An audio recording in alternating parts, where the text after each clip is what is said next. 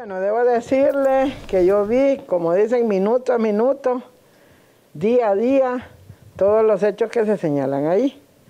Nosotros los, los abogados decimos que los hechos son irrefutables. Por ejemplo, usted ahorita me está entrevistando, nadie va a decir que es mentira que me esté entrevistando.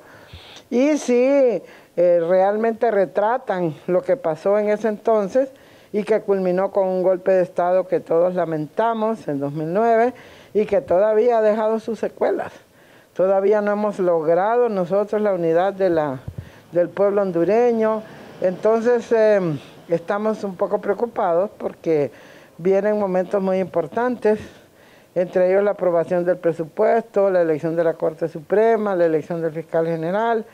Y si nosotros no logramos superar esas grandes diferencias de todo tipo, yo diría políticas, ideológicas, económicas, sociales y políticas, vamos a generar una nueva crisis.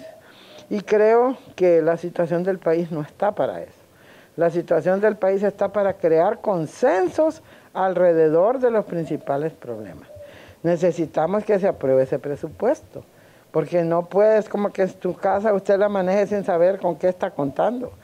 Y necesitamos también que en la elección de la Corte Suprema se tomen las decisiones más importantes considerando no los intereses particulares ni partidarios, sino los intereses del país.